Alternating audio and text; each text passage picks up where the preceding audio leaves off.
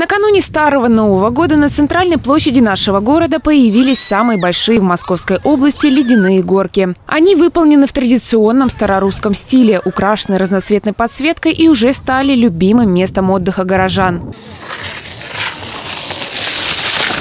С маленькими детьми на центральную площадь почти каждый день приходит жительница города Одинцова Анна.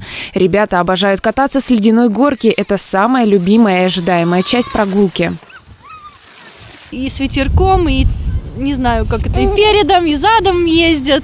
Просто развлечения зимой супер. Вот и каток чистят тоже. Хоть ты не уходи отсюда, вот так бы тут и были, если бы спать не надо было.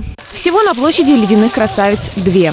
Самая популярная зимняя забава по душе и детям, и взрослым. Известный пианист, народный артист России Юрий Розум специально приехал в Одинцово, чтобы прокатиться с самой высокой горки Подмосковья. Я восхищаюсь тем, что делает э, администрация города. Э, и лично Андрей Робертович, э, как глава, потому что это действительно люди, которые понимают, что нужно обществу, что нужно детям, что нужно юношеству. И вот то, что мы здесь видим, это, конечно, такое счастье для детворы. Ведь у нас в детстве тоже были свои горки, но немножечко другого уровня и по высоте, и по качеству.